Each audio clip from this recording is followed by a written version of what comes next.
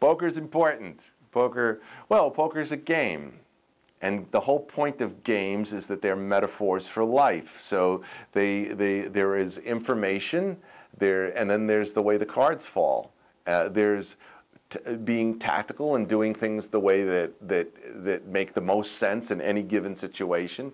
And then there's just too bad. The, the last car in the river came the wrong way for you. And that's, and that's life. Uh, so I see poker as a, as a real metaphor. What's interesting about poker is if you play a bunch of people regularly, and this includes me, by the way, uh, the, the way they play reflects on the way that they that they live. And it's fascinating to watch to have this guy always, do, no matter whether he's aware of it, you can tell him at the table, you always do that, he'll still do that, which is really interesting because it's sort of indelible. Uh, and, and that's why I look at myself and the way I play. Uh, what does it say about me?